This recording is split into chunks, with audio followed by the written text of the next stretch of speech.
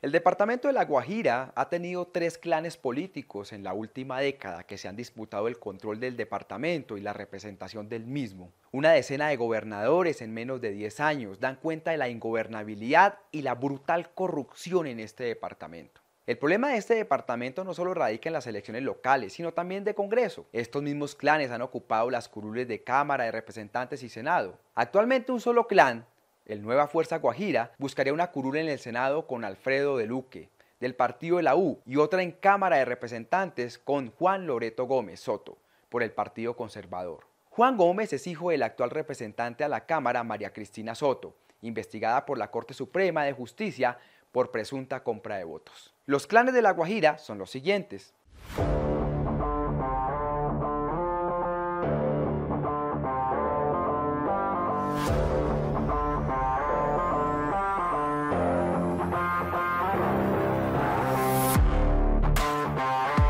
La Gran Alianza, cuyo líder es el reconocido exgobernador Juan Francisco Gómez Cerchar o Kiko Gómez, condenado a 55 años de prisión por homicidio, yo fui pionero en las investigaciones de este criminal por las redes de narcotráfico en asocio con Marquitos Figueroa y las mafias políticas del departamento. De hecho, gracias a esas investigaciones es que se fue para la cárcel. Este clan está actualmente liderado por Carlos Arturo Robles, conocido como Caloy, rector de la Universidad de La Guajira y reelegido hasta 2025. De este clan también hace parte la exgobernadora Uneida Pinto, quien estuvo prófuga de la justicia varios meses y luego se entregó. A pesar de esto, en 2021 fue dejada en libertad por vencimiento de términos. El segundo clan ese era el de Nueva Fuerza Guajira, liderado por el exgobernador Jorge Pérez Bernier y Hernando de Luque. Pérez lanzó a su hijo a las elecciones de 2019, Jorge Pérez Smith, a la gobernación y se quemó con Nemesio Royce, que ganó la actual gobernación. Estas elecciones de 2019 significaban una ruptura de Nueva Guajira, donde Alfredo de Luque, hijo de Hernando de Luque, condenado por corrupción, tomó las banderas del movimiento mediante la marca de Nueva Fuerza Guajira, el tercer clan que actualmente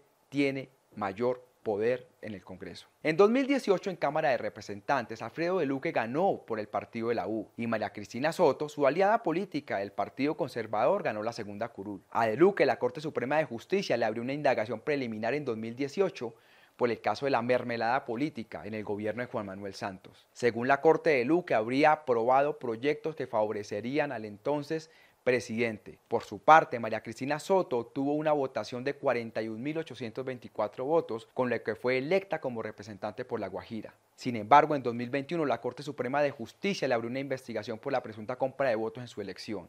Casos de corrupción e irregularidades, además de estos cuestionamientos en el Congreso. El 1 de julio de 2021, el gobernador de La Guajira, Nemesio Roy, fue destituido de su cargo por haber incurrido en la prohibición de doble militancia. Para el Consejo de Estado, Royce habría vulnerado dicha prohibición al haber apoyado a dos candidatos pertenecientes a otras colectividades políticas. Según el Consejo de Estado, el apoyo de Royce a las candidaturas de Gerardo Cujía Mendoza y Euclides Manuel Redondo quedó demostrado por medio de las fotos en las que se observó al exgobernador apoyando a los candidatos del Partido Liberal y de Reivindicación Étnica respectivamente. Sin embargo, la sección segunda del Consejo de Estado aceptó la tutela presentada por Nemesio Royce, en la cual solicitaba el amparo debido al proceso, igualdad, acceso a la administración de justicia, otorgándole nuevamente la credencial como gobernador.